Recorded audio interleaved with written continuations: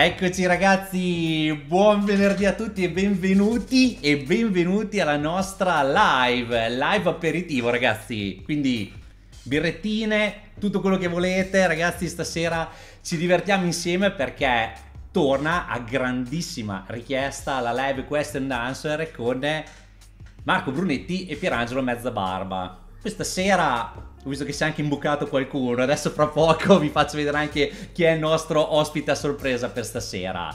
Io intanto, prima di lanciare la sigla iniziale, vi do i soliti avvisi, intanto che vi radunate che state entrando.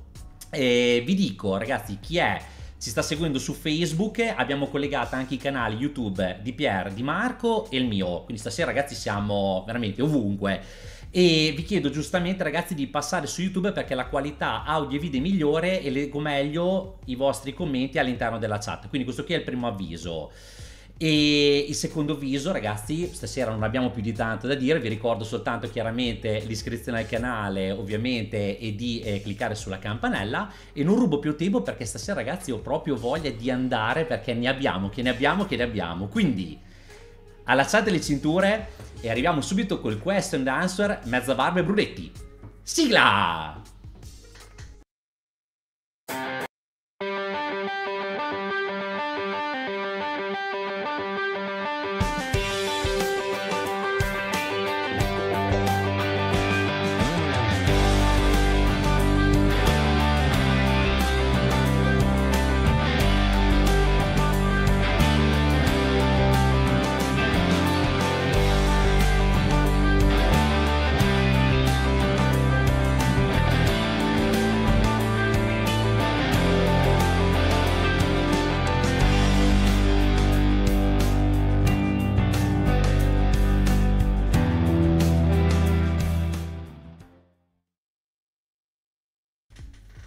Eccoci ragazzi, allora benvenuti tutti ufficialmente alla live, io pronti via, passo subito a far entrare i miei ospiti.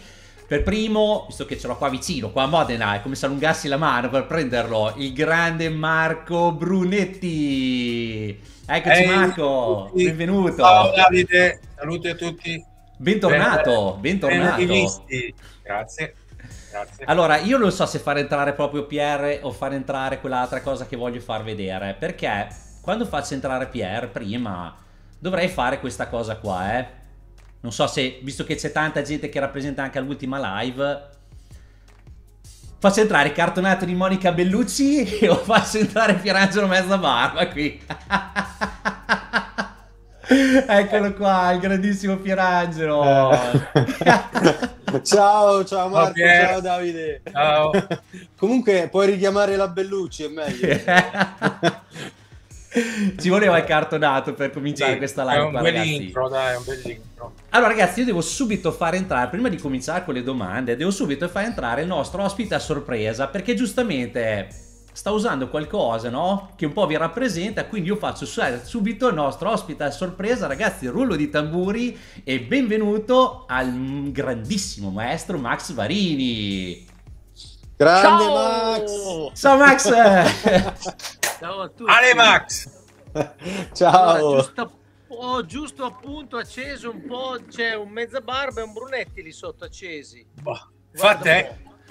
C'è quello Ci vuole. e questa che hanno un po', ci sono degli altri ampli ma in questo momento sono spenti, sono solo accesi questi Ok. due. E Quindi Ragazzi, voi non potete un mi- capire. un Chi è per chi è di Modena, la- micro tributo. Eh beh, però.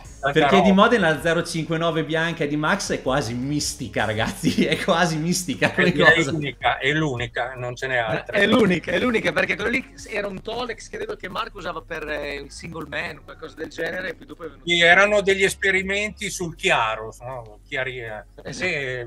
Sul chiaro, sul chiaro. Oh, Max, guarda, visto che ci Sì, sei, sì. io ti Beh, guarda, era sempre, me l'ha detto Davide e volevo salutarvi, solo per questo, insomma, era giusto per, non voglio rubarvi del tempo, però salutarvi visto che siete, vi ritengo due grandi e vi stimo eh, ugualmente e con uguale affetto, insomma, vi voglio bene. Grazie. Grande Max. Sai che per noi è la stessa cosa. Poi ci Ma vediamo Sì, presto. in realtà non Ci sarebbe bisogno, basta che gli ampli vadano bene, uno può anche odiarli. Esatto. esatto. No, si spegne tutto. Va, va bene, va bene. Max, noi ci vediamo il 3 allora, ne approfitto per dirlo, visto che qua c'è tanta gente di Modena ovviamente. Il 3 ragazzi c'è Max ovviamente con Algameco, visto che noi siamo anche noi come canale partner. Sto, esatto. proprio quella chitarrina qua, quella che uso quando sono in Da Lenzotti ragazzi, da Lenzotti c'è Max ragazzi, andiamo, venite che ci divertiamo parecchio, dai. Noi invece ci vediamo allora, musica, sfrutto, giusto Max? Sfrutto. Noi ci vediamo musica con Pierangelo Ah, ci sono anch'io a musica. Ci, 15. ci sono anch'io a musica.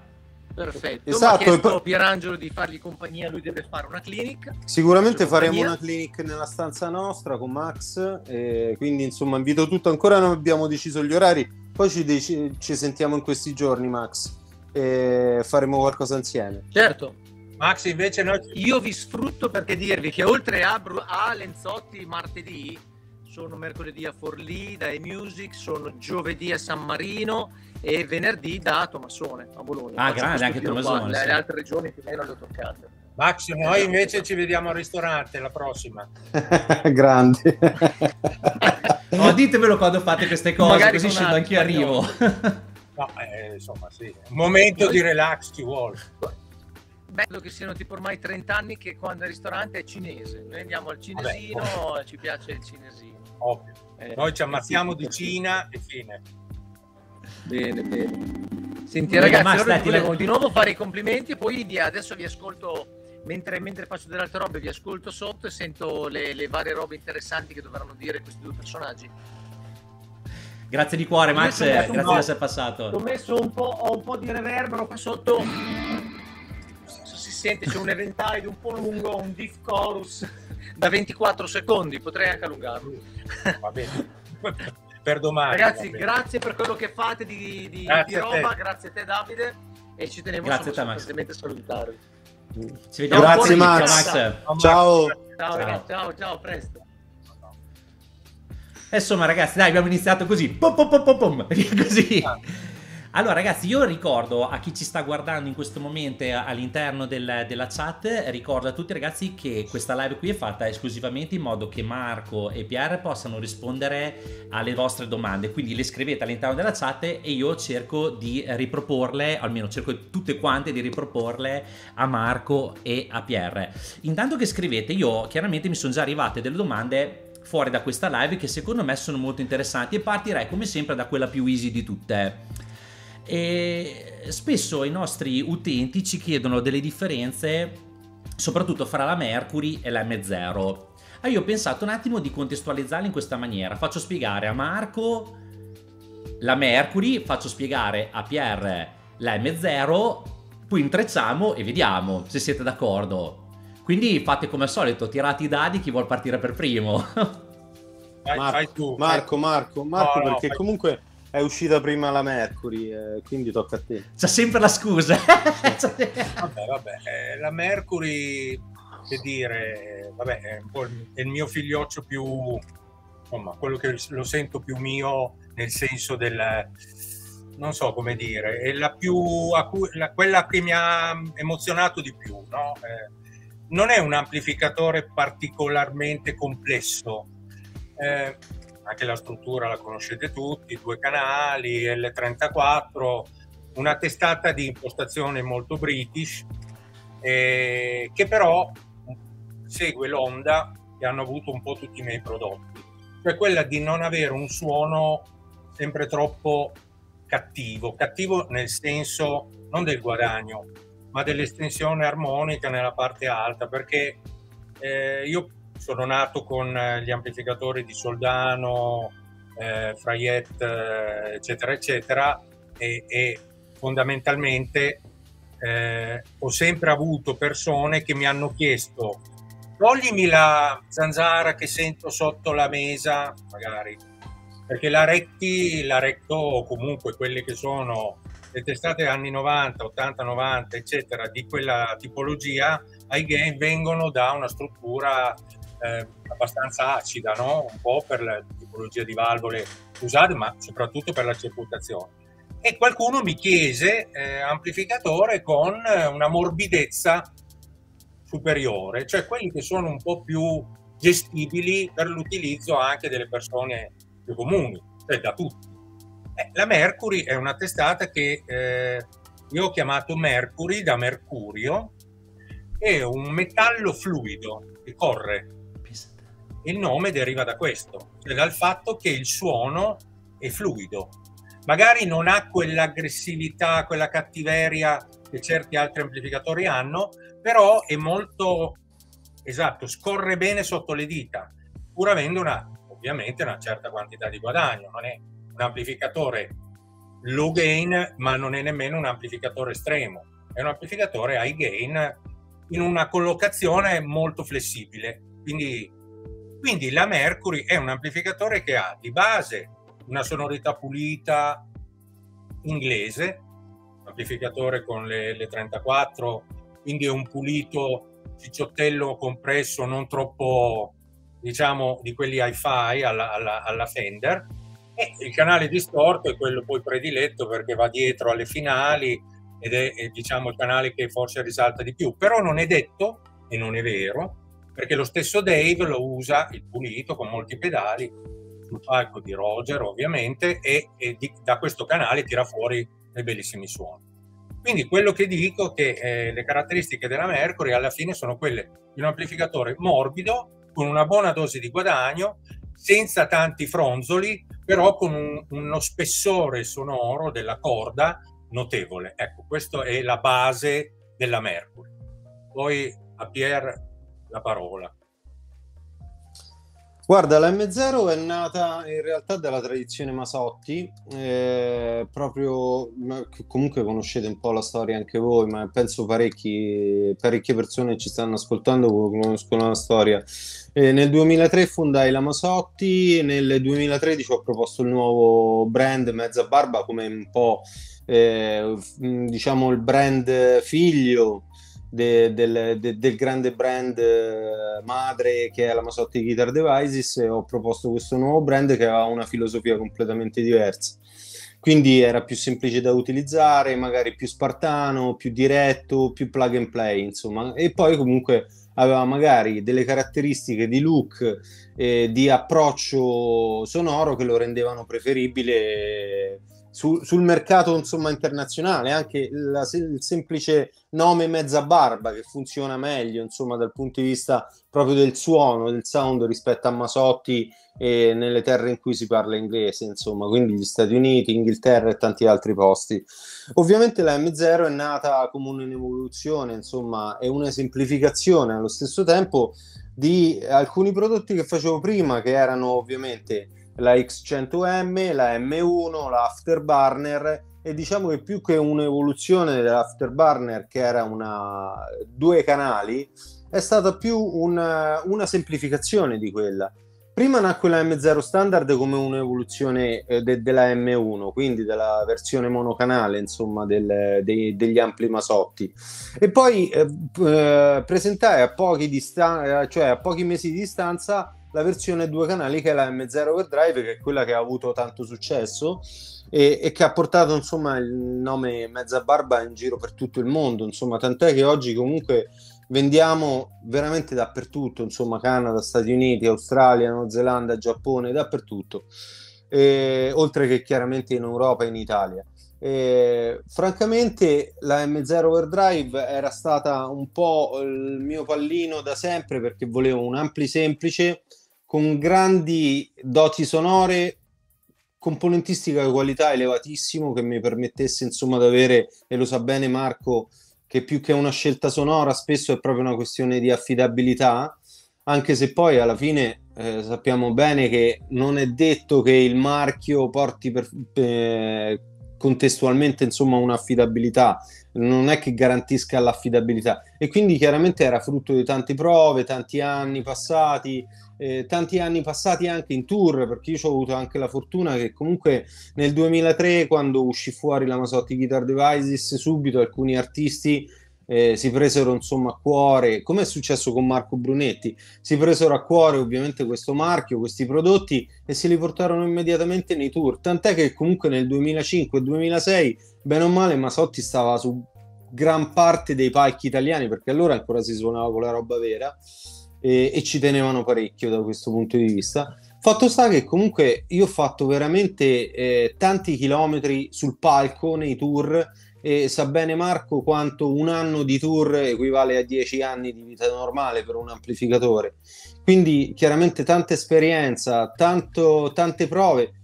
Per carità la vita, ho verificato che c'erano magari degli errori che dovevo correggere e sono stato contento di, corre- di correggerli in così poco breve tempo, insomma, eh, da quando era uscito le, il progetto e, e quindi chiaramente le, la M0 è stata un'evoluzione di tutto questo.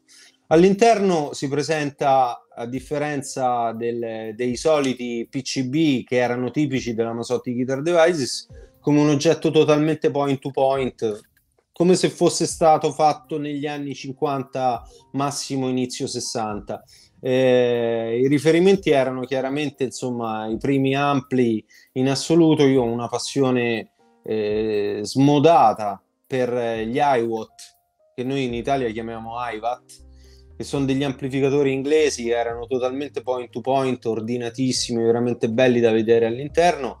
E chiaramente è stata un, un po' un'evoluzione eh, da un certo punto di vista di quegli ampli che di base erano anche abbastanza semplici e se pensiamo magari agli iWatt e ai Marshall di quel periodo, io mi sono detto perché non provare a fare un ampli che oggi ti permette di avere un doppio canale, la possibilità di inserire, che ne so, un bright, un boost, magari anche da foot switch, un, uh, la possibilità di avere un buon loop effetti, dei master volume che lavorano bene, la possibilità magari di poter mettere anche dei dual master che ti permette di duplicare i suoni senza poter perdere comunque la dinamica, il, il vibe, il, diciamo il punch tipico di quegli amplificatori, insomma la qualità timbrica ecco, di quegli amplificatori.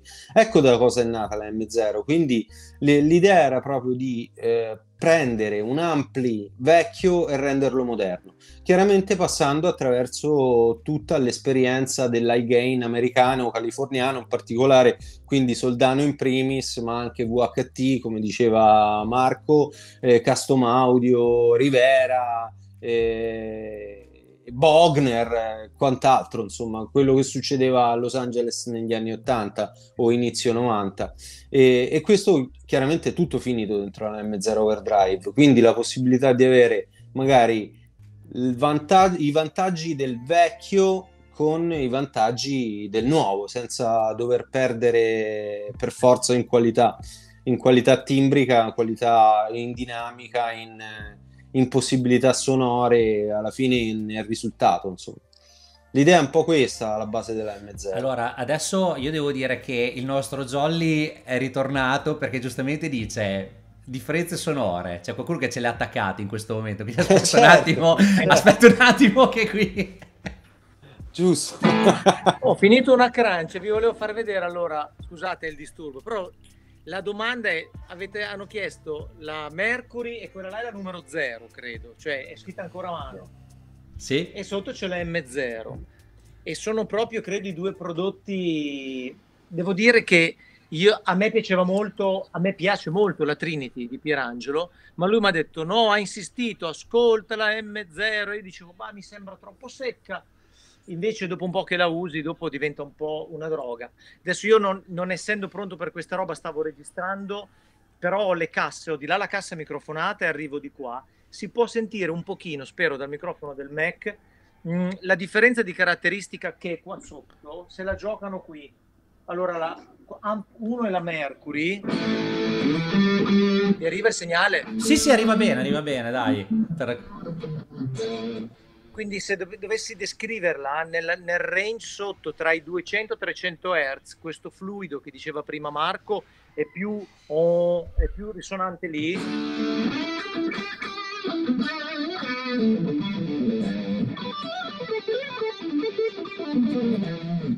Mentre la, Maso- la, la, Z- la, sì, la M0 è più graffiante di sopra quella parte lì un pochino più scavata, un pochino più, potrei dire, più moderna, ma che non vuol dire che è meglio perché non voglio essere offensivo nei confronti di Marco, però sono quei suoni un po' più scavati dove se vai anche in drop, lì non hai, hai la percezione di avere meno volume, quindi puoi spingere un po' di più.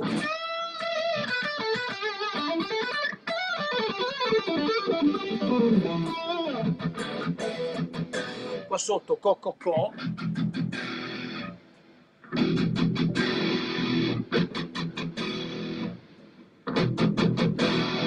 c'è proprio un buchetto qui che rende, ripeto, non si riesce da, se non con attenzione, con delle casse buone. Però li senti che sotto le dita entrambi ti seguono, però le caratteristiche di due ampli ben diversi eh, ci sono. Eh, è andato via Pierangelo. Eh, Pierangelo. Cazzo, si è offeso. si è offeso?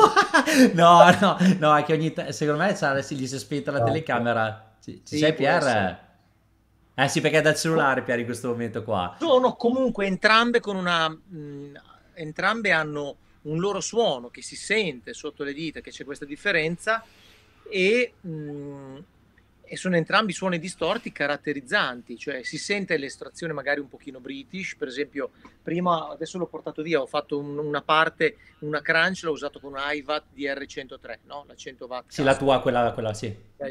Sì, la solita, quella che ha i, i, i, Brilliant e Normal linkati, eh, eccetera. Niente, giusto perché, visto che avete parlato di questo, oh, ce l'ho tutte e due. Dio. Hai dato, la, era la cosa migliore. È tornato. È, è, suonato, co- è suonato così forte Max che gli ha fatto cascare la connessione. oh, scu- scusate che mi è arrivata una chiamata mentre stavo online. Sarà Bellucci. esatto. Era la Bellucci. Detto Monica. Porta dai, la musica. Eh. Porta la musica.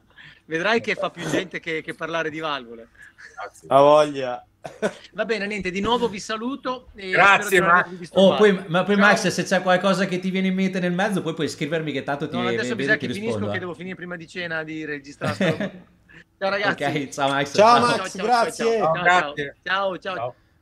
In effetti era, cioè, per far sentire la differenza era la cosa migliore, quella Beh, lì, non ci avevo pensato a chiederlo a Max. A volte è difficile. Però... Allora ragazzi, io parto subito con una domanda che viene dal pubblico che avevo visto che mi piace molto, eh, visto che stiamo parlando di produzione. Allora, qua Marco ci scrive, quando progettate un amplificatore, avete uno speaker di riferimento? Yeah. Ad... Adesso tocca a partire. Ma, tu, ma, tutti lo sanno, il greenback. Eh, certo. Tra, tra l'altro, eh, ovviamente io sono un fortunato possessore di vecchie casse Marshall, insomma 69, 70, 71, 74, 76, 78, eccetera. Quindi ho sia i greenback che i creamback, i blackback e così via, che poi comunque erano le versioni Rola dei precedenti greenback, insomma, eh, pre, eh, che erano pre-Rola appunto nel, nel 69-70. Eh, però comunque ho fatto un sacco di paragoni anche con iconi moderni, anche fatti ovviamente dai vari produttori, anche boutique speaker, boutique, insomma. Eh, francamente io continuo a preferire i Celestion come se avessero eh, ancora la ricetta originale, eh, che nessuno ce l'ha. E, e me ne sono anche reso conto ultimamente quando sono andato a trovarlo pochi mesi fa, insomma, perché loro non vogliono che riprendi, che fai eh, che fai tele, eh, scusate, fotografie sì. alla, fase, alla, fase, di produzione e così via. E io attualmente uso, c'è da dire che già gli attuali greenback standard G12 M25 li fanno in Inghilterra da ormai 5, 6, 7 anni, e, mentre prima li facevano in Cina, quindi hanno riportato dentro la produzione. Però eh, la serie Heritage G12 M20 greenback, che poi è la stessa dei coni IVH, gli, i Van Allen, perché io l'ho proprio chiesto, ma che differenza c'è tra gli EVH e, e i Greenback Heritage, E il capo della Celeste mi ha detto è lo stesso identico cono, cambia solamente lo sticker sul posteriore, insomma, del cono. E, um, gli Heritage Greenback sono in assoluto i migliori coni fatti sul mercato per quello che è il mio, l'idea mia di suono. E io utilizzo solamente quelli per, per, riferimenti vari, insomma, per sviluppare gli ampli, eccetera. Poi è chiaro che provo i miei ampli anche sui Vintage 30, come su altri, sui Greenback, su altri coni. Eh, però i Greenback sono i Greenback. Tra l'altro il tuo, il tuo, ma il tuo la, la, Trinity mi ricordo ancora adesso perché devo averlo visto qualche volta, quel video lì, a proposito che c'era Max prima, Max li aveva addirittura provati col Blue Alni con la Trinity, addirittura. Sì, ci può stare, eh? Belli, eh? Mi ricordo. Perché sai che lui c'ha la famosa cassa, no? Quella con i tre coni diversi. E mi ricordo che nello specifico stava usando il, il Blue Alnico quando ha provato la Trinity che ha fatto il video. Eh, tu sì. Marco invece, io, io, credo di saperlo Marco, aspetta, vediamo se, se ci prendo. Ah, io, allora, parto dal presupposto, anzi faccio un piccolo intro, che il fatto dipende da che amplificatore devo pensare, cioè il cono ce l'ho in base al pulito, se è più un pulito che... Però alla fine, io ad esempio quando ho fatto il single man, avevo una rosa di 11 altoparlanti, tra cui il Bluebird, eh, scusa, il Blackbird della, della Jensen, eh, altoparlanti molto, anche molto belli e anche molto costosi. Però alla... tra, tra, l'altro il Blackbird bello, poi sui no. puliti veramente fantastico. È veramente molto bello, è un cono proprio boutique, ma, ma bello.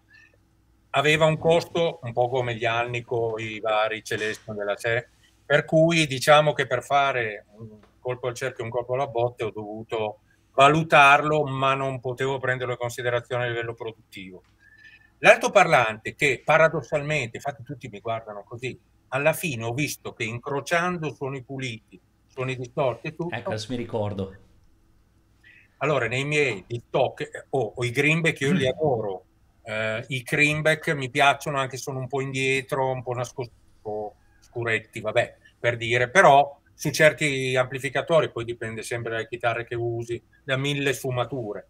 Però fondamentalmente, facendo prove con Chicco, Gussoni, Massimo, eccetera, il single man, per dire che è un mio amplificatore di riferimento venduto ovunque, monta di stock il V30 e ra- raramente, raramente mi chiedono un bel cono che è il VGS, il Veteran 30, che è un altro altoparlante che ha una caratteristica molto simile al Vintage 30, ma non ha quel top grit un po' sporco del Vintage 30 che più, ele- ha... più, elegante, vero Marco? Esatto, è molto più equilibrato, più elegante. A te Marco con quella cosa lì mi hai fatto svoltare, perché io mi ricordo che io per esempio, che suono tantissimi in clean, per un sacco di tempo i vintage 30 non me li sono mai fumati, usavo o i greenback o i blue alnico, di solito come, come, come cosa.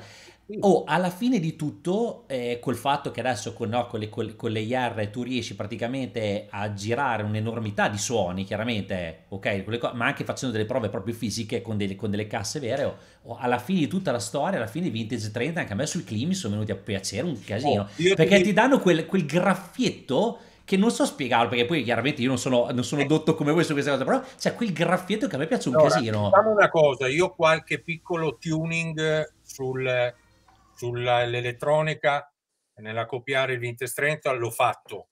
È chiaro che se prendo un altro altoparlante, magari il single man cambia un pochino rispetto a quella che è la mia idea di, quel, di quell'amplificatore. Però eh, parecchie persone, a parecchio ho montato il G1265 Rola, il pre, che è un altoparlante che a me piace tantissimo perché ha una bella estensione sulle medie, non è un altoparlante che nasale come i G12T, eccetera.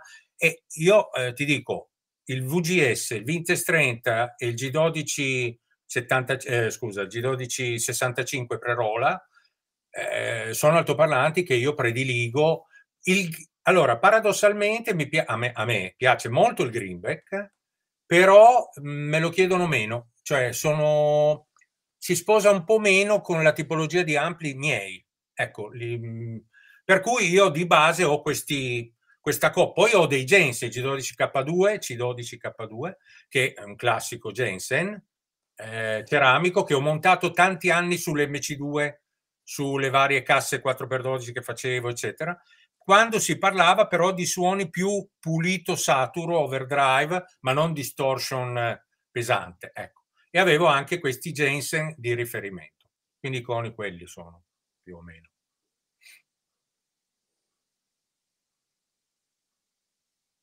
Non sento. Nemmeno io. Sì, scusate, scusate, avevo preso, sì. avevo preso, contro il bottone del microfono. Allora vi porto questa domanda al volo, questa domanda al volo su questa cosa qua. Chiedono qua, eh, Carmine chiede, è giustificato, se è giustificato il costo del blu alnico? Io però, mh, mm, sì, cioè, non mi ricordo, cioè adesso io ho un po' che non li seguo veramente i Blue Alnico. Lo, lo dovrebbero chiedere alla Celestial, esatto. Eh sì, perché, perché anche, anche per gli altri poni ovviamente c'è stata un'escalation. Mm-hmm. Eh, poi, giustamente oggi tutto eh, costa di più e tutto aumentato. però è sempre quella fettina di crema che loro la vendono come butichissima. Sì. L'alnico è quello. Sì, se, se, si, se, si riferisce al suono, perdona se ti interrompo Marco, se si no, riferisce al suono è una questione soggettiva e chi vuole il suono del blu alnico, anzi del celestio alnico, eh, deve prendere il blu alnico anche se eh, le varianti sono belle, il ruby è bello, il cream è bello, sì. però comunque il blu alnico è giusto che se il prezzo è quello e vuole spendere quello, alla fine il prezzo più che il produttore, e, e credo che Marco sia d'accordo, lo fa il cliente, nel senso che in realtà è il mercato stesso che si stabilizza su quel determinato prezzo. Ora, se io chiedo per dire 3.500 euro per un amplificatore che non vale quei soldi, nessuno ce li spende e automaticamente io non venderei più quell'amplificatore. Se io chiedo per un 3.500 euro per un amplificatore che magari vale quei soldi e anche un po' di più se vuoi, per tanti altri motivi, allora la gente farà corsa per acquistarlo. E dipende da, da, quella che è la domanda chiaramente del mercato, non tanto dall'offerta, insomma, perché poi l'offerta si stabilizza, magari tempo fa l'Annico Blu costava, che ne so, 120 euro, poi è salito a 150 perché la richiesta era tanta, poi è salito a 200 e adesso costa quasi 300 euro, no?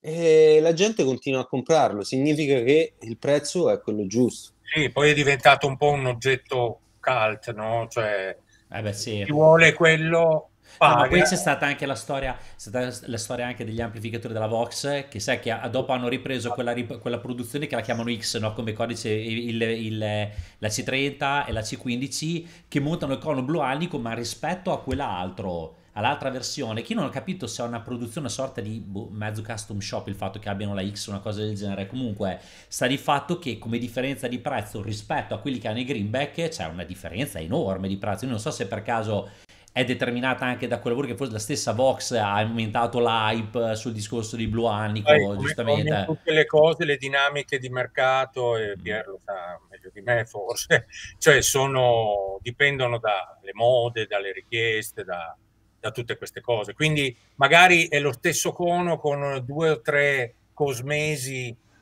differenti, tipo io, io mi ricordo tempi che, di Marshall quando era ancora vivo, parlo del Music Mess, parlai con la Celestion, eh, mi dissero che il trucco, eh, il trucco, la ricetta di cui parlava prima Piera, quella del, del Vintage Trent o del, del Greenback, cioè ma dei coni Celestion in genere, sia nella carta con cui fanno, oltre che vabbè, il magnete, ma il magnete, la bobina, vabbè, ma la carta, la sospensione e determinati accorgimenti nella realizzazione di questa parte del cono dà una risposta che tutti, io parlo anche per Jensen, con cui ho avuto dei rapporti diretti, hanno cercato di emulare, ma non ci sono riusciti.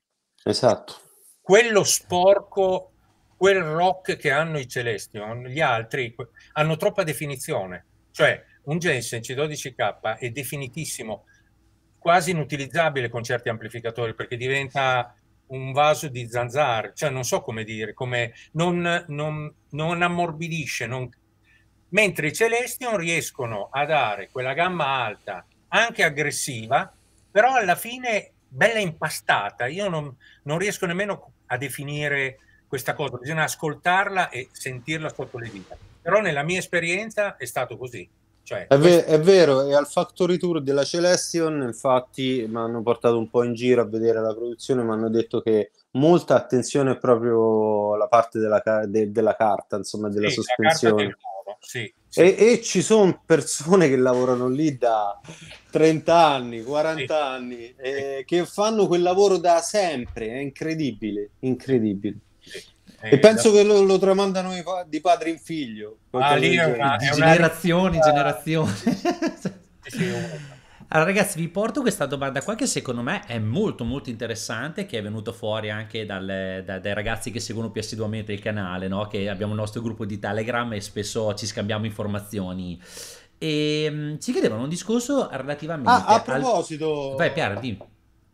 Ah, è proprio giusto, è vero. Eh, non l'avevamo fatto vedere. Ma quello lo voglio, è bellissimo. per, per, il tè o per la birra, insomma, quello che è. Sono sicuro che c'è il tè lì, Pierre, sicuro. C'era. C'era. c'era. sì. Allora, vi dicevo ragazzi, questa, questo, questa, questa domanda qua che è venuta fuori ehm, sul discorso del peso e delle dimensioni delle testate. Perché? Molti utenti, vi, dicevo prima, no, che seguono il canale si sono imbattuti negli amplificatori Brunetti e Mezza Barba. Per Mezza Barba, ovviamente per Pierre, parlo ovviamente della skill in, in particolar modo, ovviamente per, per Marco parlo di, della, della, varia schiera eh, Pleximan, Singleman, così.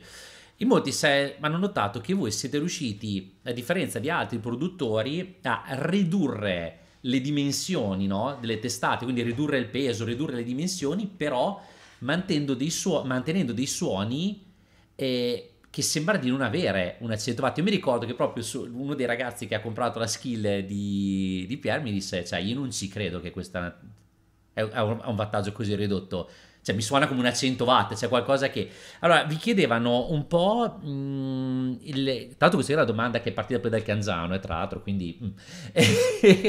e, che salutiamo. Esatto, vi, vi, chiedevano un po', cioè, co- come, co- quali sono i ragionamenti che avete fatto per riuscire a mantenere un suono così presente, un suono così, posso dirlo, grosso proprio, nonostante le, le ridotte dimensioni dell'amplificatore, quindi anche la riduzione dei wattaggi.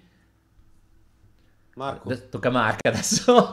allora, eh, prendiamo in considerazione una cosa. Allora, intanto abbiamo ridotto le dimensioni della testata per farle, diciamo, più portabili, più portabili.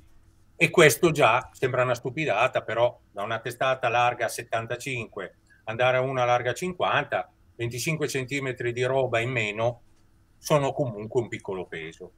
Abbiamo una differenza qua, stimiamo la differenza ok, va bene. Poi uno prende una vecchia testata marcia, guarda di cosa è fatta, è fatta di o, multi, o MDF di 3, 2 cm e mezzo, oppure vabbè, le vecchie avevano legno vero, ma comunque pesante. Sì, tipo molto, il Betulla. Esatto, un, multi, un plywood di Betulla magari da 18 mm che è indistruttibile ma sprecato su una testata, mi devi spiegare cosa serve. Allora io cosa ho fatto? A parte le dimensioni e a parte il fatto di assottigliare, siccome la testata alla fine è uno shell che deve portare un'elettronica, deve essere robusto, ovvio, ma non importa che pesi 6, 3 kg o 4 kg in più perché lo devo fare in multistrato di betulla. Io ad esempio scelgo spesso il pioppo, che è un legno leggerissimo, è un multistrato, e indistruttibile, nel senso che per quello che devi, a meno che tu non lo martelli, e lo vuoi distruggere. Sì, comunque... l'unico difetto del pioppo che utilizzo pure io sulle skill, insomma, sullo shell delle skill. Sì, esatto. eh, l'unico difetto del pioppo è che è un legno un po' morbido che ovviamente anche se non si distrugge sì. cadendo magari da due metri di altezza, però gli rimane un segno magari perché sì, ha sbattuto. attimino, esatto. Su quello è chiaro che la betulla così sembra è cemento, cioè nel senso quello, e quella infatti è utilizzata nelle casse nel mio caso. Esatto, che poi ha una risonanza specifica la bravo, Betulla. Bravo, infatti il single man che è multistrato di Betulla da, da 16 15 o 16 mm, secondo di quello che si trova, ha comunque uno studio, è stato fatto, per cui anche mettendolo insieme, assemblandolo in un certo modo, suona in un certo modo. Allora, noi abbiamo ridotto di la plexi questa dimensione e il legno. Lo chassis, la parte elettronica, non è stata castrata in una maniera pazzesca eh, eh, per alleggerire. Io l'unica cosa che ho alleggerito un po' è stato il trasformatore d'uscita. Siccome io ho un'esperienza che mi sono dovuto fare io sullo studio dei trasformatori e me la sono fatta qua in laboratorio, ci ho messo un paio d'anni per capire come farli non troppo bene, ma nemmeno troppo male, perché il trasformatore d'uscita non deve suonare hi-fi, ma non deve suonare nemmeno tipo chiuso dentro una scatola. Io ho visto che determinati materiali, determinati tipi di avvolgimento possono fare la differenza su quello che è il risultato andando incontro alle dimensioni e quindi al peso. Cioè, un, allora, partiamo dal fatto che la Plexi è una 50, la Skill è una 50. Eh, praticamente sì. 40, 50, quelli che sono. sì, ma ci arriva, ci arriva. Eh, Allora, questo... Io, io, penso che la dichiaro 30 watt perché comunque la gente altrimenti non se la compra, perché il problema ah, okay. attuale, ovviamente poi degli Ma ultimi 10-12 anni, insomma 10 anni, è stato il fatto che comunque la gente credeva eh, che, che 100 watt era troppo, 50 watt era troppo, magari allora 30 watt, che poi glieli dai 50 va bene lo stesso. Sì al prezzo di 30, 30 watt però se lo comprano. Sì. E l'idea era un po' quella, insomma. Sì, quello è vero. Ma in effetti io ho, ho la, la, vabbè, la, la Plexi è una 50 con l'L34.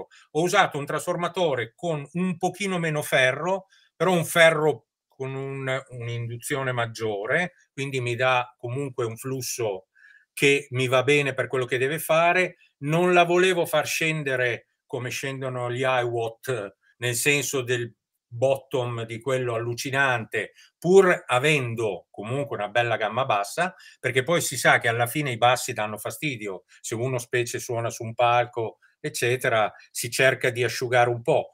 E quindi diciamo che tutto il discorso, allora lo chassis è stato tagliato eh, laser nelle parti che non servivano, eh, ehm, eh, magari inspessito per farlo comunque robusto, ma tolto il superfluo, insomma alla fine sono venuti via 4, 3, 4, 5 kg a secondo chiaramente tra dimensione, maniglia, eh, piedini, cose, cioè la somma che fa il totale è diventato così. Però non abbiamo, diciamo, lesinato sulla qualità, questo ovviamente non l'avrei fatto. Poi è ovvio che anche lì ci sono dei limiti.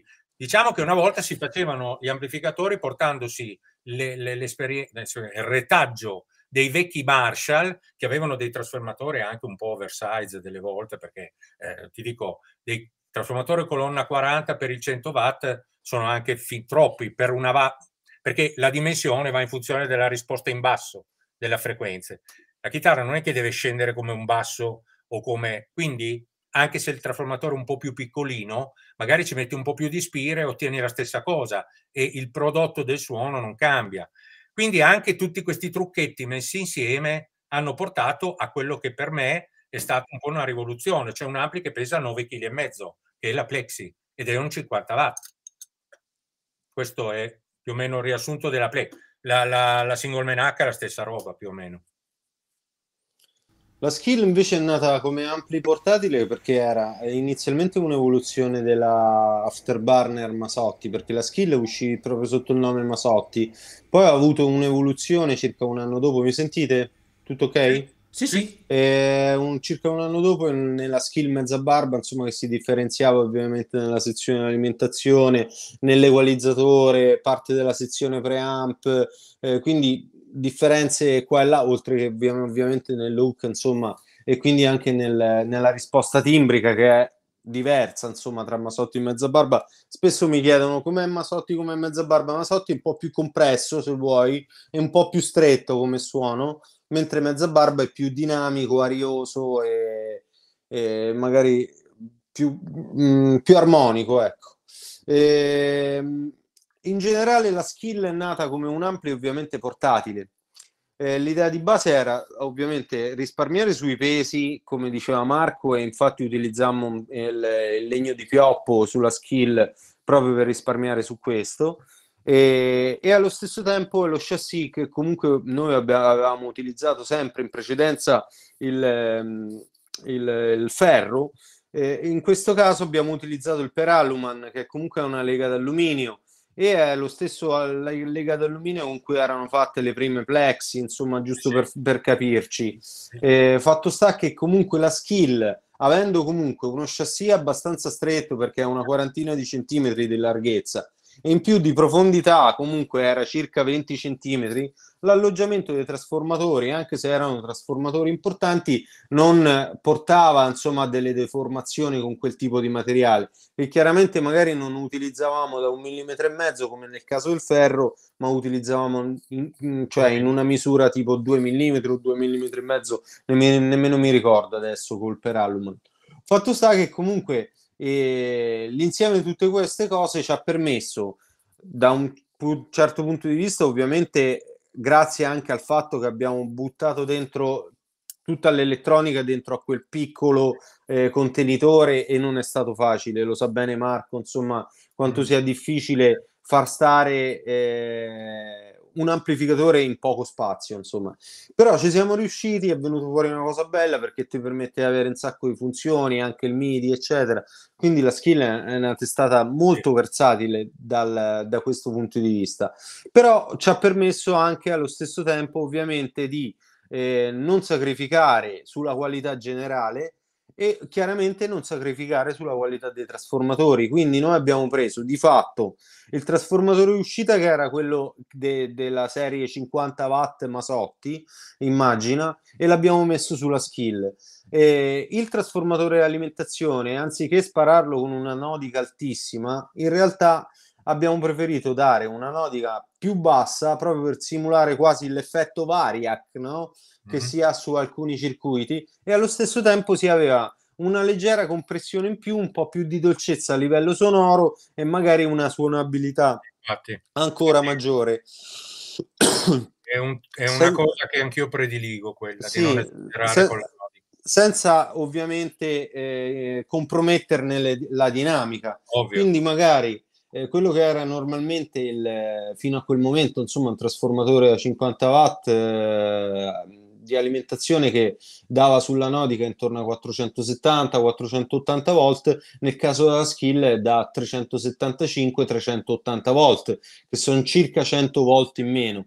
Questo sì. da un certo punto di vista un po' simula l'effetto Variac di cui parlavamo e, e che ha reso famoso ovviamente Van Halen, no?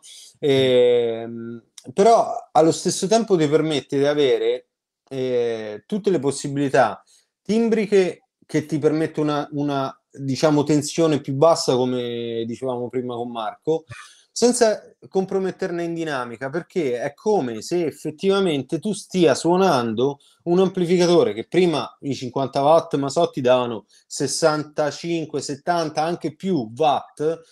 Comunque un amplificatore che io posso dichiarare a 30, ma in realtà arriva tranquillamente magari a 50 watt di potenza, su un trasformatore di uscita che comunque rimane pulitissimo perché non sfora mai il suo limite e non va mai in saturazione e chiaramente soprattutto basandosi su uno dei trick che è un po' il segreto della skill. Anche se la tensione anodica è bassa cioè 380 volt insomma una volta rettificata eh, la corrente in quel ramo del secondario è quanto un JCM 800 da 100 watt. Quindi io ci ho buttato là dentro 300 mAh, che è un'esagerazione, lo sa bene Marco, insomma, è un'esagerazione. Eh, diciamo, se, deve, se può arrivare a 50 è perché ha una riserva di corrente maggiore, esatto. perché se no con la tensione più bassa non arriverebbe. Esatto, quindi... che è un'esagerazione ovviamente per un amplificatore insomma da sì, 30 barra 50 watt. no? Sì, sì. Eh, su 300 mAh, insomma, sul secondario della nodica sono parecchi. Di solito ci fanno i 100 watt no? con, quel, con quella corrente. Quindi, hai, quindi hai... chiaramente da, da questo hai. punto di vista, ovviamente c'è tutta la riserva dinamica che eh. il chitarrista eh, necessita e ti permette di avere un impatto frontale, pur non mai risultando acido, ti permette di avere un punch, una risposta timbrica e dinamica appunto che è tipica dei 50 o 100 watt insomma commerciali certo. Allora ragazzi siccome avete ridotto qua c'è gente che vorrebbe farvi ridurre ancora di più. Vabbè, qua c'è Maurizio, Maurizio che fa questa domanda e dice io ho una XL Revo e ne vado fiero una bellissima invenzione vorrei avere una testata piccola 5-10 watt al massimo. Quindi questa qua 5-10 watt suonerà quindi PR come la 30 watt quindi sostanzialmente se, 70 c'è qualcosa di questo tipo nei vostri progetti futuri dopo poi ha specificato giustamente che la domanda è per tutti e due Vabbè, adesso tocca allora. Frattanto, io prima, scusate, prima di vi porto anche perché stavate parlando i saluti di Max che si è scollegato ah, alla diretta. Grande, Ciao, Max. Grazie. grazie. Grazie. Come sempre. Sempre, sì. Vai Pier, dimmi una tua. Um, io, non io, so tan- io non sono tanto per i bassi wattaggi, nel senso che ne parlavamo nel fuori onda, il 100 watt mm. suona così, il 50 suona così, il 30 suona così, il 18 suona così, il 5 suona così. Ovviamente, insomma, si, è, si restringe la risposta, insomma, timbrica dell'ampli stesso. Io ho fatto un sacco di fatica per far suonare come volevo eh, la serie Z18, nel senso che eh, ci sono dei trick lì ovviamente per farlo suonare largo, ma normalmente eh, un 18 watt è molto più stretto livello, dal punto di vista timbrico rispetto a wattaggi maggiori. E poi chiaramente dal punto di vista dinamico, insomma, tu immagina solamente che eh, uno Z18 ci può avere un quarto della corrente a disposizione di una M0 overdrive e quindi di base dal punto di vista della corrente, se, se vogliamo parlare in parole povere, tu hai un quarto della dinamica rispetto a una M0 overdrive che ha 100 watt, no?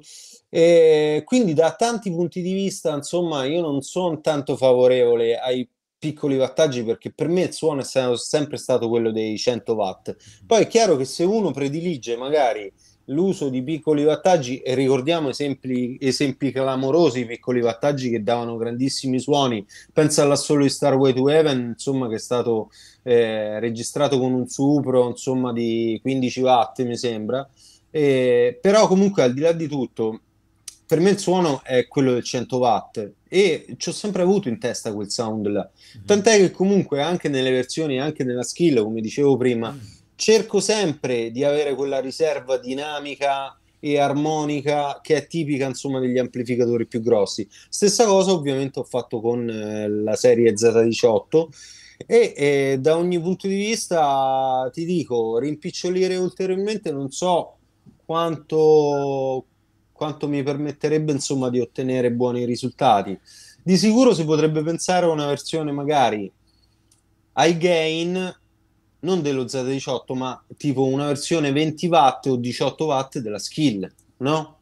Che potrebbe essere una cosa carina. Andrebbe a pesare magari Din, din, din, din, din. Aspetta che me ne vado. Magari non potrebbe... l'ho sentito, non l'ho sentito. Magari potrebbe pesare 7-8 kg. Non l'ho uno... sentito. Ragazzi, dai. Oh, no, io, però dico la verità. Io quando Pier... vado in giro porto una 4x12 con braccio e una 4x12 con l'altro. No, eh. dico, dico, no, io devo dire quello che dicevamo prima nel fuori onda. Allora, ragazzi, io quando ho fatto fare l'M0T a PR c'era stata la diatriba proprio sul discorso 50-100 watt. Perché io dico, ho detto compriamo a 100 watt, ma non ero convinto, eh. Poi dicevo prima fuori onda con, con Marco e Pierre che l'ho portata in effetti fuori e c'ha ragione Pierre, cioè sti grandissimi cazzi da 100 watt, cioè è, è, è, è, grossa, ce la senti proprio sotto che ce l'hai, cioè è proprio veramente, veramente notevole, quindi sì, ha ragione Pierre, anche se c'erano dei dubbi io metto il sigillo, cioè avendo fatto una prova e avendo sempre girato ultimamente con delle testate più piccole, devo dire che sul clean soprattutto su quei belli arpeggioni anche molto 80 con i chorus e quei delay adesso, cioè, Davide, adesso Davide ce l'hai grosso anche tu il, suono, il suono eh, e d'altronde io non posso anelare a Monica Bellucci. Vabbè, quella è riservata a, pochi. tu Marco cosa dici invece? Ma io dico che sono d'accordo a metà, nel senso che secondo me questo discorso sono d'accordo con Pierre per i suoni puliti. Sì, sì, io parlo dei clean, eh.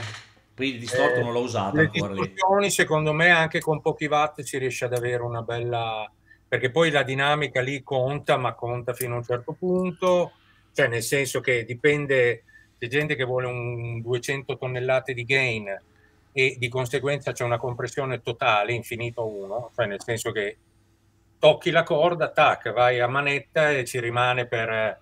Lì, anche se hai eh, 10 watt, e fatti bene però, eh, secondo me il problema è poi nel cono, cioè se li muovi come li muovi, che con io, io, io, chiaramente mi riferivo anche alla possibilità di avere comunque sempre definizione, cosa che il 100 watt normalmente Vabbè, ti garantisce. La no? definizione sul 100 è sicuramente garantita. E, e, quindi niente impastamenti, che magari impasta prima all'ampli piccolo e così via, ma più che altro proprio sulla banda passante, cioè se tu individui un corretto suono di overdrive e ovviamente è ben bilanciato sulle medie, non ha troppa zanzara, non ha basse fangose magari se ha la zanzara in alto le basse fangose è meglio avere un ampli più stretto dal punto di vista sonoro, no? La risposta sì.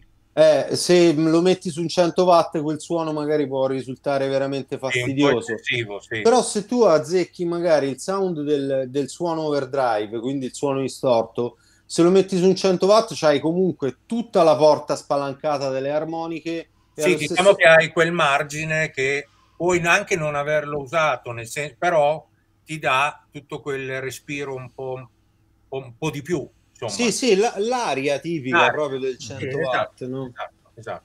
Io su questo sono d'accordo.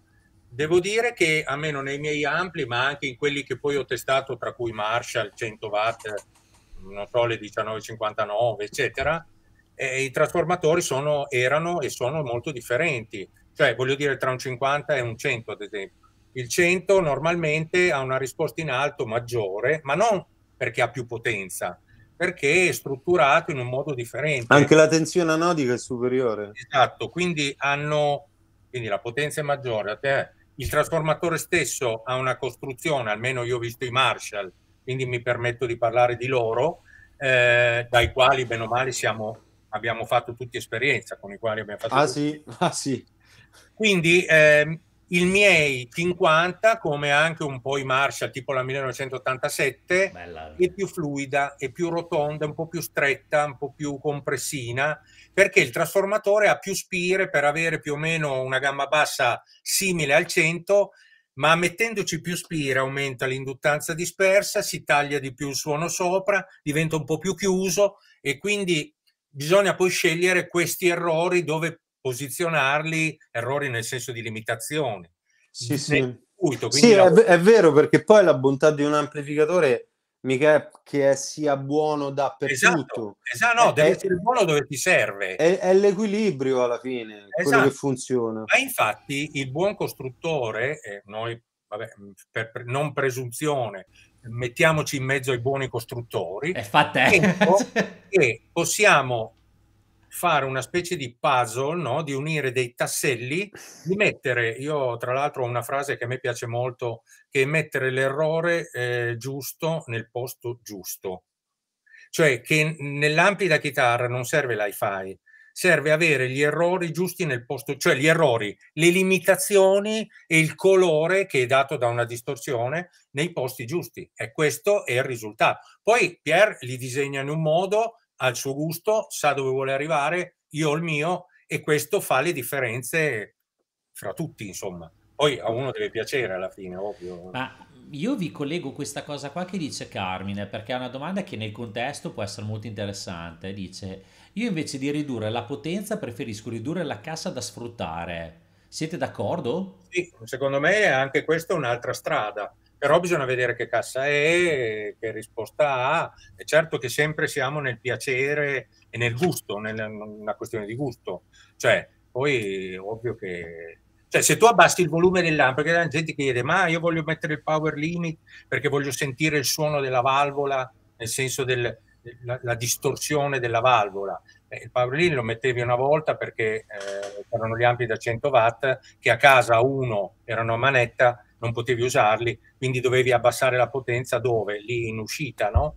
Perché? Perché non, non avevi corsa di potenziometro, cioè tu prendevi i vecchi Fender, tipo un Twin a 1 era già impallato, no? Mm. Se tu però riesci a spalmare la corsa del volume, riesci già a gestire la roba anche senza una cosa di potenza. C'è sempre il collo di bottiglia che gli altoparlanti da chitarra, come Pierre sa, sa bene, se non li muovi non suonano, cioè esatto. suonano le zanzare. Esatto, in più, in più, aggiungerei Marco il fatto che spesso si pensa che do- ci dobbiamo comportare con un amplificatore come ci si comportava con i vecchi Marshall, esatto. nel, nel, senso che i vecchi Marshall si mettevano a cannone a e era l'unico modo in cui suonavano esatto. come esatto. volevi.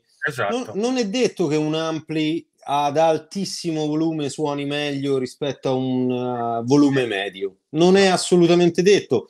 Eh, capita spesso insomma di mettere magari a altissimo volume i mesabuchi che a un certo punto smettono proprio di suonare, nel senso che a un certo punto si schiacciano totalmente e questo succede con, vecchi, con la vecchia serie Mark e, e succede anche con i rectifier e sono amplificatori che secondo me invece a volume medio e volume medio-basso rendono tantissimo, molto meglio che a volume più alto.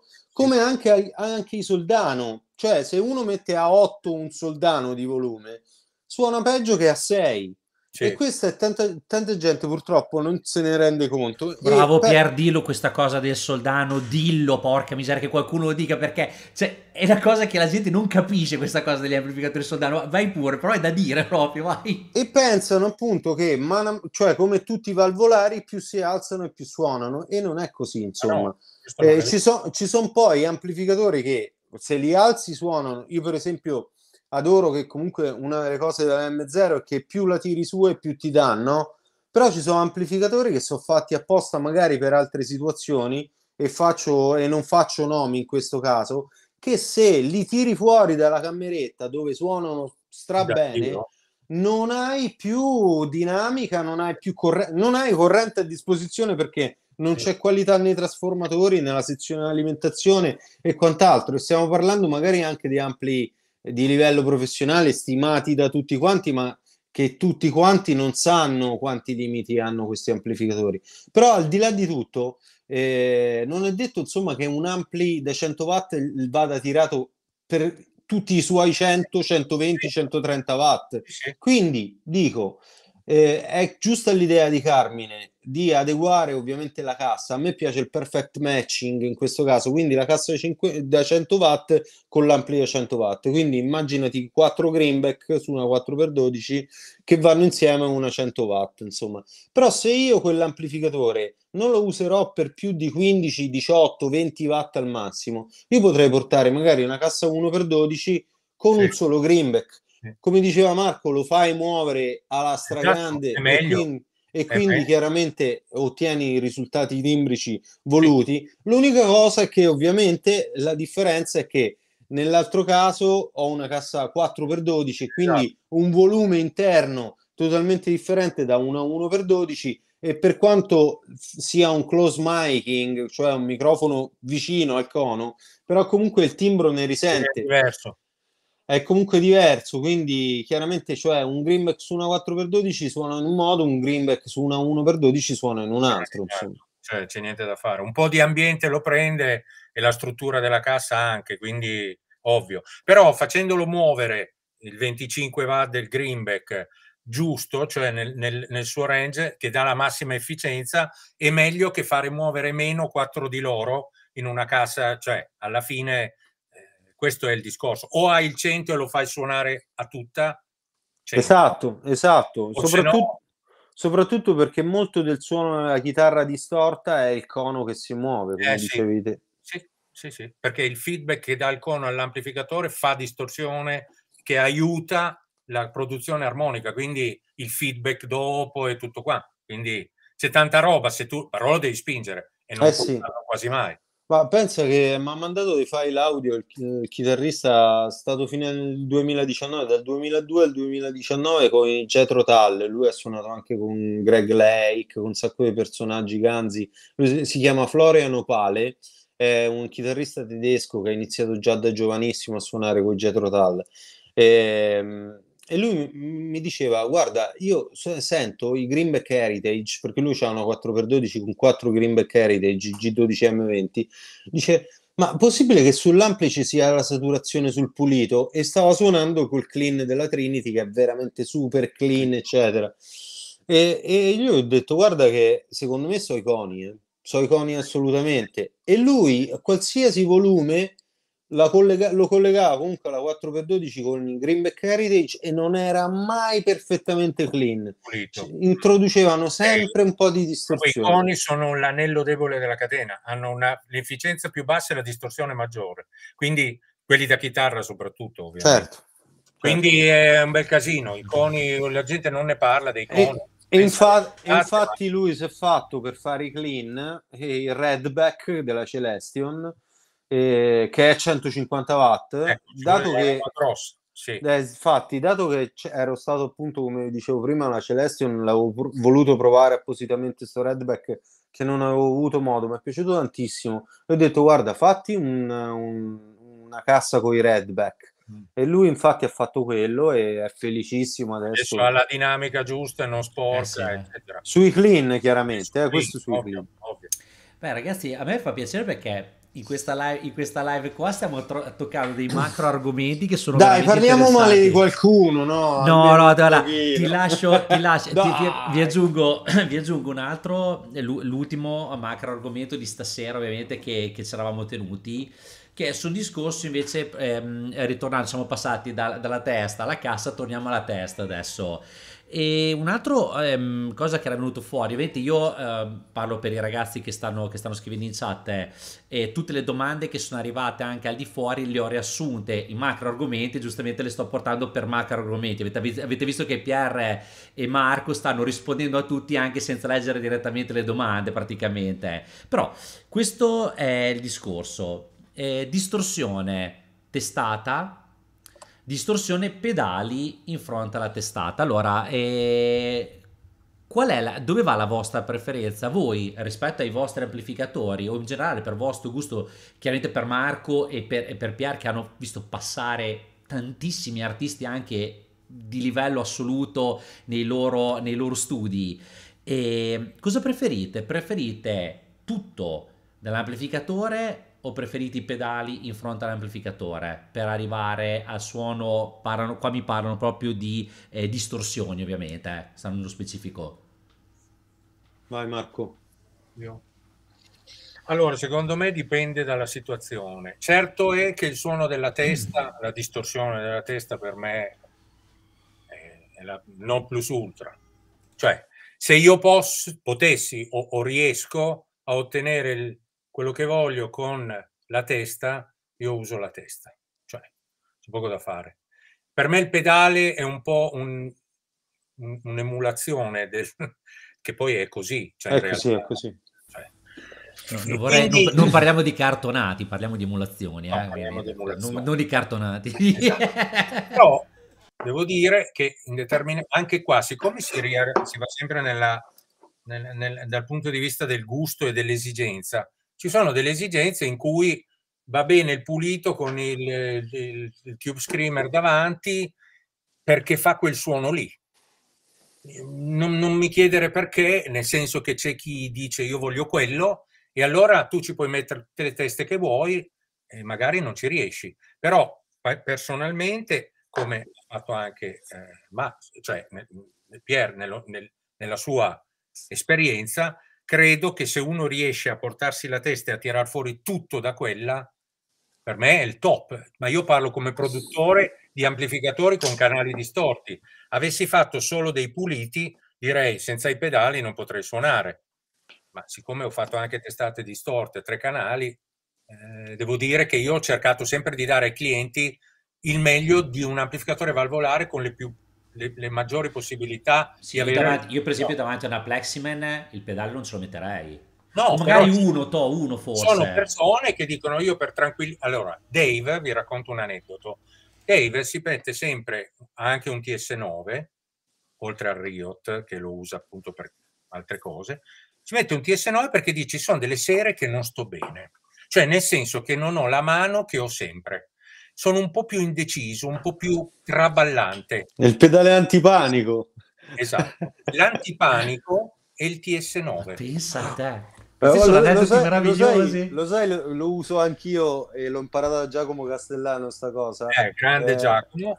Con co, co, i Doom Generator, la mia band di musica originale, noi ci divertiamo, suona un po' di rock che poi non arriva mai a metal, anche se è rock bello fondo, bello cazzuto.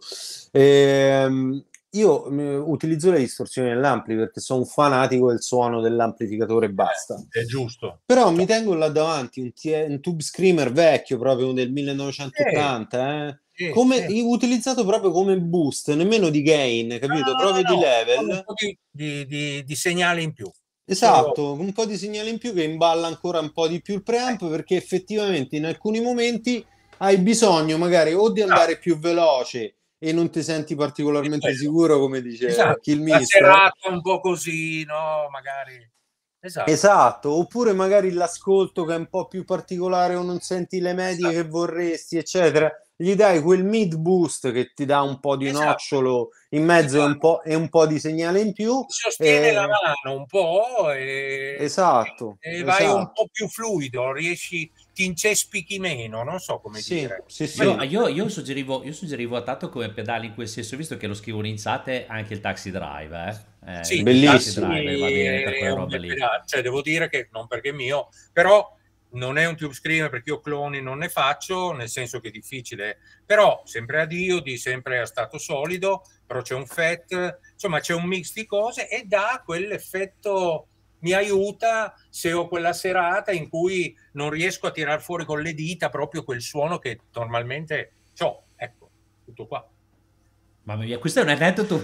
No, sai perché? Sai perché sto ridendo? Perché proprio l'altro giorno nella della chat di Telegram del canale si parlava proprio della predisposizione o meno in una serata, no? Se ti senti eh. bene, allora suoni bene, se ti senti... Parlava proprio di quella cosa lì, cioè ragazzi, se, se, sentite, dico ai ragazzi che seguono anche il mio canale, ragazzi, sentitevi sereni a questo punto qua, perché se lo fa chi mister direi che potete Guarda. stare tranquilli. No, beh, lui lo dice sempre, perché lui è anche un, una persona molto umile e modesta, e dice, io ho dei down delle volte cazzo, uno che suona comunque continuamente a giro per tutto il mondo, poi sai di eh, sì, cioè tutti i giorni in aereo, tutto qua, la campana anti-covid e una balla e l'altra. Arrivi a un punto che non è che è giovane, c'ha la mia, più o meno la mia età, cioè è giovane nel senso che però ha i suoi anni. Cioè... Mi piace una balla e l'altra. tra una balla e l'altra è, è un termine così, ma è, è così, è così. sul parco alla fine offre la vodka il, Comunque, comunque anch'io sono dalla parte del, della distorsione degli ampli, insomma, non ne, non ne potrei fare a meno. Chiaramente, se uno vuole ottenere, che ne so, il suono di David Gilmour a Pompei sul solo di Ecos, deve utilizzare magari in Fats Face su un ampli esatto. pulitissimo, come poteva essere l'Iwot uh, utilizzato da Gilmour che ovviamente ha tutta quella particolare zanzara, quel fango sotto, quelle esatto. armoniche particolari che ti davano quel pedale particolare. E poi, tra l'altro, non tutti i Fats Face suonano identici, eh? cioè se uno prova 50 Fats Face al Germanio, 50 Fats Face al ah, Silicio, no. Eccetera, ma dell'epoca li trova tutti differenti. Ah, io ci ho fatto caso sul Big Muff, io ci ho avuto una quantità enorme di Big Muff e tutti vecchissimi e erano tutti uno diverso dall'altro, insomma. È pure vero che ai tempi all'Electro Harmonix c'erano i cassetti pieni dei componenti più disparati e quelli che trovavano sul Zero mercato. selezione, Germanio era fatto così sì. e, e veniva fuori il suono che veniva. Ognuno sì, era... sì, facevano proprio così, pescavano e buttavano dentro, capito?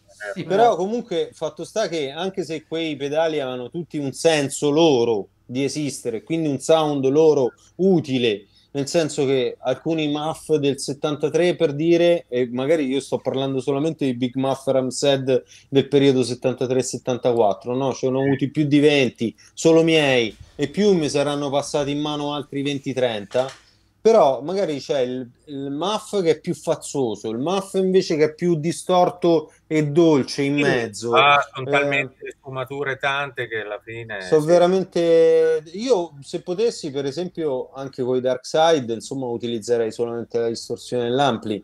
Il problema, sì. il problema, mio è che ovviamente a differenza di Dave Killmister, che comunque è un artista lui, io no, però Dave è un artista pagato da Roger Waters per fare qualcosa che sia simile a Gilmour, sì. ma comunque diverso, con una sua personalità eh, timbrica ovvio, particolare. Eh. Ovviamente lui deve utilizzare i suoni che si sente di utilizzare. Io ho un gruppo tributo ai Pink Floyd, ovviamente, e, e, e la gente quando viene a vedere i Dark Side si aspetta comunque un sound se possibile più vicino ai Pink Floyd di quello che sarebbero i Pink Floyd veri, no? E ov- ovviamente da, da, parte nostra non c'è imitazione in nessun senso, nel senso che in realtà abbiamo la nostra personalità musicale, una delle cose che ci hanno sempre detto è che le altre tribute band cercano di avvicinarsi ai Pink Floyd, ma alla fine non potranno mai suonare come Pink Floyd. Invece voi suonate come voi stessi, e interpretate a vostro modo la musica dei Pink Floyd. Diciamo che poi alla fine è un'ottima scusa per poter buttare dentro ovviamente la nostra no, di musicalità. Questo succede con i Dark Side e ovviamente invito tutti quanti, insomma, quando ci sarà la possibilità di venire a vederli, anche perché ci divertiamo, noi siamo un gruppo proprio rock and roll, eh, anche sul palco, però effettivamente quando suono i Dark Side, anche se mi piacerebbe suonare comunque il distorto dell'amplificatore, io mi ci devo avvicinare in qualche modo a Gilmour, visto, visto che faccio il verso a Gilmour e rendo omaggio a quel chitarrista lì e quindi chiaramente anche se ho messo su un setup molto particolare che prevede una Fats box utilizzando un Mesabugi con la load box e utilizzando questo però comunque io utilizzo il Big Muff per le distorsioni di quel tipo cioè high gain ah, di Gilmour sì, sì. poi Gilmour comunque sì e quindi chiaramente cerchi di avvicinarti, di, dargli, di dargli un'andata, insomma, che sia la più, più, vicina possibile. E poi diciamo a che periodo di Gilmour? A me piace tantissimo il periodo di Delicate Sound of Thunder, fine anni 80, anche no? Me, quindi me, 88 in particolare. Benissimo. E in quel periodo ovviamente lui utilizzava insomma delle soluzioni timbriche che poi non aveva utilizzato mai prima e non ha più utilizzato dopo. E quindi a quale Gilmour ti avvicini? Eh, poi, piano, so. poi piano possiamo, possiamo, dirlo, eh, per questo, guarda, guarda, il mio schermo, eh, per questo è nato... esatto, esatto. La Mezzaro T-Version ovviamente è una base con pulito solidissimo, stile iWatt, ma non è un iWatt e ti permette insomma le possibilità di lavorare con Big Muff eh, e Fatsbox utilizzando il Mesabuchi, poi tu sai in che modo Davide. Mm-hmm. E... Sì, ce lo, scrive, lo, stava scrivendo anche il Kanza, guarda, lo stava scritto, l'ha scritto proprio adesso. fatto, fatto sta che se metti normalmente un amplificatore prima di un altro amplificatore, se quell'amplificatore tende un po' a cranciare, diciamo si sbriciola giù tutto, no? Invece il Big Muff da una parte adora degli ampli solidissimi, cioè fermissimi. Sì, sì, molto strong, sì. Esatto, nel senso che magari suona bene su un Fender o su un Ivat, su un Marshall non ci suona no, bene, no? no? Per farvi un esempio, ah. perché tende a cranciare. E, e, poi da una parte il MAF, da una parte il fatto di io poter utilizzare un Mesabuchi come preamplificatore di un'altra sezione preamp, che è quella della M0, e quindi mettere due preamplificatori in cascata utilizzando l'intero Mesabuchi, non solo la sezione pre, ma anche la sezione finale, e quindi ovviamente di dargli un'ulteriore spinta in quel modo. Se l'ampli non è abbastanza solido, li sbraga giù tutto. Arrivederci, grazie, ciao Roma. Eh, ma la comodità del digitale, però. Ma... Dopo aver sentito questo, ragazzi, tutti Vabbè. a prendere il caffè. Perché sono le 8 quasi. Sì, allora, oh, ragazzi, io, io devo porto... andare a fare spesa a Sainsbury's, eh, ragazzi. allora, ragazzi, vi porto, vi porto l'ultima domanda della serata che è veloce poi ovviamente, come sempre ragazzi, io, io, penso che ormai possiamo far diventare questo appuntamento fisso ogni due o tre mesi, lo dico anche per i ragazzi, cioè possiamo, possiamo, farlo diventare fisso che così eh, tutti potete anche venire a portare le vostre domande. Anche ogni due mesi, eh Davide. Eh. Vai, va benissimo a me. E ehm, niente, vi, vi chiedevano semplicemente, a parte la stima reciproca che avete l'uno per l'altro, se ci sono altri produttori di amplificatori italiani e o internazionali che in questo momento... Eh, stimate particolarmente? Vabbè, io in Italia da sempre Marco, poi sì. cioè, non l'ho mai nascosta l'ammirazione che ho per, per, lui, perché comunque è stato un po' il fondatore eh, di tutto questo movimento high gain italiano che è venuto fuori. E perché probabilmente se non esisteva Marco non sarei nemmeno esistito io. Io mi ricordo ancora quando ero ragazzino che leggevo le riviste che potevano essere guitar player o altre cose. Mi ricordo ancora la recensione del, mi- del 1000 di Italian Stallion, no? Sì, eh, sì, sì. Eh, te lo ricorderai, Marco? Ho ancora i, le, le, le, brochure con Italian Stallion. Eh, sì, ho proprio dei ricordi belli degli anni 90. Sì. Però per me, per me, in generale, insomma, i grandi, grandi costruttori, insomma che hanno fatto la storia dell'amplificazione sono son quelli. Per me, da un certo punto di vista, Marshall ha fatto i migliori ampli di sempre. Eh, che poi, ovviamente, insomma, magari da un, un, certo periodo in poi non sono stati più gli stessi, non, non alla stessa qualità. però comunque al di là di tutto fino a quel periodo là non c'era nessuno, non è riuscito nessuno a fare ampli così belli come i vecchi Marshall, insomma. E fatto sta che comunque già l'ho detto prima, adoro, stra adoro sia per i suoni che comunque per eh, la costruzione ehm, iWatt, quindi iWatt. E mi piace tanto Dumble, di cui magari non abbiamo parlato in questa puntata, però comunque eh, sei riuscito a trovare delle medie, ma non da suonare io, eh, eh, perché a me non piace suonare sistemi lenti tipo Mesabuchi o Dumble, che no, a me piacciono i sistemi veloci tipo i Marshall, e poi comunque un nome su tutti, insomma, che è Mike Soldano, per me il più grande costruttore eh, degli amplificatori, insomma, high gain moderni, no? E senza dimenticare comunque Mesabui e senza di lui probabilmente non sarebbe esistito manco Soldano insomma. sì no infatti direi che è venuto dopo quindi sì grandi io sono d'accordo con, cioè, condivido quello che dice Pierre aggiungo Bogner perché il primo Bogner non parlo, del, parlo dell'ecstasy eccetera cioè i primi il fish ecco eh, Ecstasy fino a 100-101 A e B più o meno dopo sì, e poi dopo le... un'evoluzione diversa, una cosa che poi è diventato, secondo me, un filo più commerciale, un po' più andando dietro a delle cose che forse ha fatto bene, nel senso che però lui ha sempre costruito bene le cose, cioè ampli fatti bene, un po' sullo stile Mesabughi, nel senso come anche estetica, eccetera, però fatti con il suo gusto, eccetera. Soldano, un grande anche lui, VHT, Fraiette, comunque anche lui, cioè sono nati Tanto. questi, e vabbè, Marshall non ne parliamo. Grande. Allora, io tra l'altro ripropongo anche questo messaggio qua dei ragazzi di Lamina che dicono sì, facciamolo dal vivo con Beretta e Salamella, però posso dire, cioè ragazzi, che ci stiamo un po' pensando eh, perché io avevo lanciato una provocazione fuori onda per, per, per, per, eventi futuri. Adesso vediamo, ragazzi, vediamo. Potrebbe anche starci, potrebbe anche starci come cosa. E bene, ragazzi, io, diciamo che siamo arrivati alla fine della live. E io, ovviamente, vi ringrazio tantissimo di essere stati con me stasera perché, come sempre, sono live meravigliose. Poi. Eh, se, ci, se, finirà di guardare la live di ferita, ringrazio anche il maestro Varini che ci ha fatto compagnia.